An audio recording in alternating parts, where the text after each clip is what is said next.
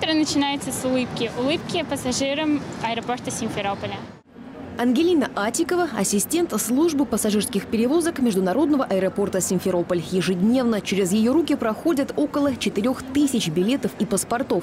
Еще два месяца назад она была студенткой авиационно-транспортного колледжа, а теперь с легкостью выполняет трудную и стрессовую на первый взгляд работу. После переезда из Санкт-Петербурга Ангелина до сих пор восхищается масштабами Крымского аэропорта. Как раз мои ребята а, с колледжа приехали сюда на практику, рассказали, каково здесь. Им очень понравилось, сам, как вообще происходит сама процедура, обслуживание пассажиров. Вот, порекомендовали аэропорт, и я решила сюда переехать. Есть как хорошие пассажиры, которые дарят море позитива, так и, естественно, есть пассажиры, которые вредничают. Но мы стараемся справляться с ситуациями и дарим улыбку пассажирам, они сразу становятся добрее. Дарить добро, улыбаться и отдавать частичку души. Пассажиропоток аэропорта постоянно растет. С начала года воздушную гавань посетили более трех миллионов человек. Пассажиры не любят ждать, и агентам по регистрации нужно торопиться. Поэтому выдать посадочный талон и принять багаж сотрудники успевают всего за 43 секунды при российском нормативе в минуту. Еще одно достижение – система электронного посадочного талона, которую Крымский аэропорт запустил одним из первых.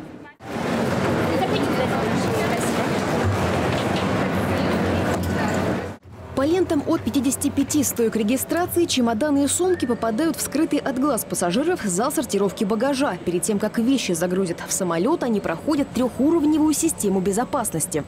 Сумки встречает современная отечественная система обработки багажа. Здесь четыре так называемых карусели. По ленте длиной около двух километров вещи отправляются на основной досмотр. Интересно, а прошла ли проверку наша сумка?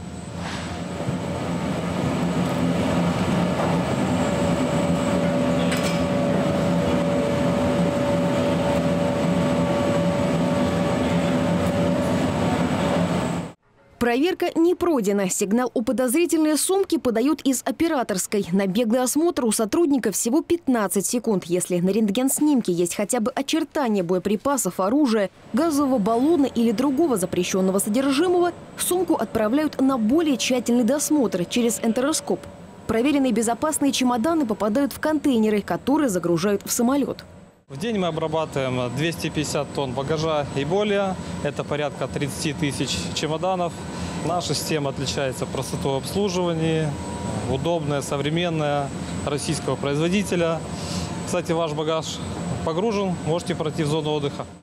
Свой рейс пассажиры ожидают на террасе. С уникальной в своем роде площадки открываются виды на перрон. Остекление частичное, поэтому гости аэропорта могут подышать свежим воздухом. Кстати, уникален и сам терминал. Для него смонтировано 130 витражей, которые состоят из 9 тысяч стеклопакетов. Терраса стала популярным местом для любителей селфи. Не менее востребована зеленая стена. Высота самой большой в Европе конструкции 15 метров. На первых пяти – настоящие растения. Папоротники, маранты и филодендроны. Каждый цветок находится в горшке и получает воду через систему капельного орошения. Остальные 10 метров стены искусственные. Правда, чтобы вытереть с них пыль, сотрудникам нужна скалолазная подготовка. Пока пассажиры делают фото на память, на перроне к вылету готовят самолет.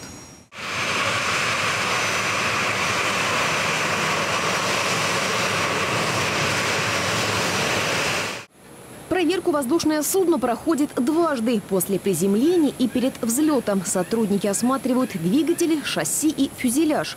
Даже о самых незначительных повреждениях нужно сообщить в диспетчерскую. После визуальной проверки перед взлетом самолет заправляют топливом, водой, загружают борт питания и багаж. Кстати, в аэропорту Симферополь на обслуживание узкофюзеляжного судна специалисты тратят всего 45 минут. За рекордное время к вылету готовят как маленькие эмбрайеры 25 минут, так и крупные самолеты 90 минут. Одновременно на перроне работает больше 15 человек.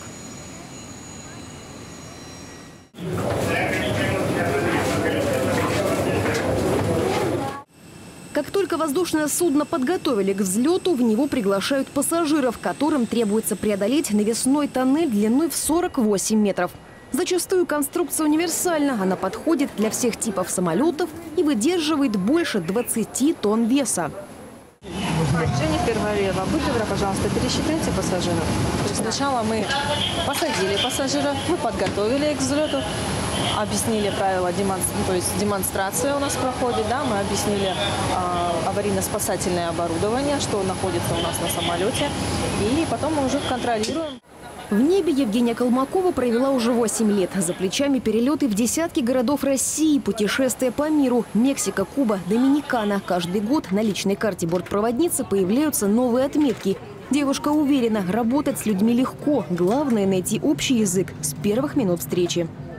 Сейчас уже пассажиры спокойны, это благо сейчас ин- информация до них э, доходит э, в массовом порядке, да, то есть это СМИ, это масс средства массовой информации говорят, когда что можно как позволить э, на самолете себе какое поведение, а какое поведение не- непозволительное на самолете. И пассажиры стараются выполнять правила поведения. Я просто очень люблю общаться с пассажирами, я очень люблю людей по, по своей сути. Вот. И для меня заставляет удовольствие. То есть, как говорил Конфуций, найди себе работу по душе, и ты ни одного дня не будешь работать. То есть, ну, я нашла себе работу по душе. На любимую работу уходит и Игорь Турский. Стать пилотом для командира воздушного судна было детской мечтой, которая с возрастом переросла в цель. Учеба, несколько лет занятий в аэроклубе и 22 года в небе. Случай, когда профессия стала неотъемлемой частью жизни. По словам пилота, управлять самолетом проще и безопаснее, чем автомобилем. На пути не встречаются лихачи. У нас нету ни борт-инженера, ни борт-техника, два пилота, взаимозаменяемые, скажем так. А, Происходит вот буквально у нас поворотом одного тумблера. Все. Дальше идет запуск, какая-то циклограмма, мы ее зачитываем, контролируем. Если что-то происходит, опять же уже э, во время запуска у нас основные приборы это по двигателю, температуры, обороты, масло. Уже все э, внимание на эти приборы. Если все штатно, запускаем второй двигатель. Все поворотом одного тумблера. По словам пилотов, небольшие размеры кабины не мешают управлять самолетом. За всеми процессами летчики следят по приборам. Здесь нужны не только знания, но и внимательность, поэтому перед каждым полетом командирам важно отдохнуть. Благодаря хорошей организации нашего планирования мы имеем достаточный э, отдых перед полетом, предполетный отдых, предполетная подготовка. То есть все довольно-таки э, очень строго за всем этим наблюдает отдел планирования. И ну, нет такого, что пилот пришел уставший, замученный на рейс и сел в кресло и уснул. То есть всегда, то есть э, две головы смотрят на приборы.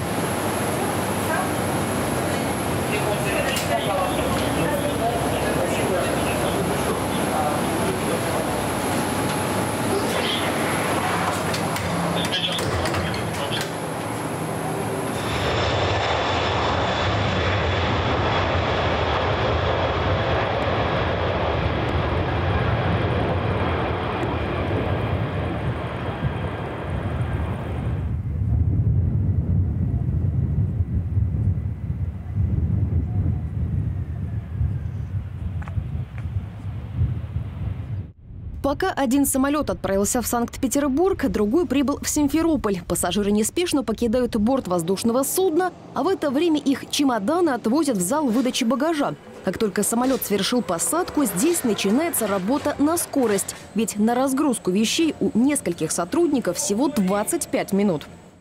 Разгрузка багажа 734 рейса. Первые чемоданы пассажиры получают не позднее, чем через 15 минут. Если стоянка самолета близко расположена к багажному отделу, то разгрузка пройдет быстрее, а значит, свои сумки люди заберут уже через 13 минут. Ежедневно аэропорт Симферополь принимает более 200 самолетов. Все операции с воздушным судном на земле контролируют в Центре координации и управления.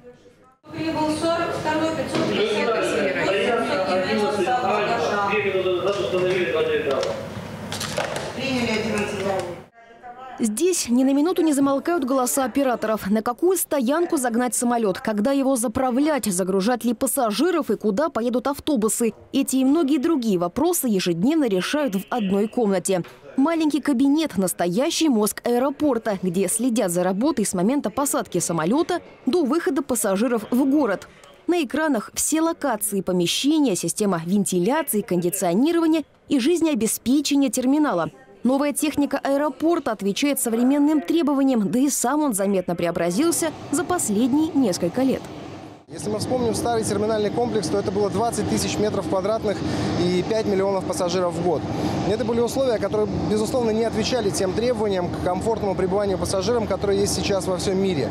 Новый терминал – это 78 тысяч метров квадратных площади и те же самые 5 миллионов пассажиров в год, которые мы обслуживаем последние несколько лет. Новые системы безопасности, которые позволяют пассажирам э, чувствовать себя комфортно и создают абсолютно безопасную среду для туристов, которые прибывают в Республику Крым.